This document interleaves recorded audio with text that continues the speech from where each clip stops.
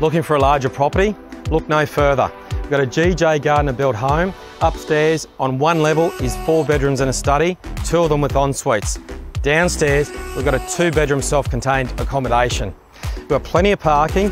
We're only a moment's stroll from Terrigal Beach and we've got a wonderful acreage outlook. Let's have a look around at the view.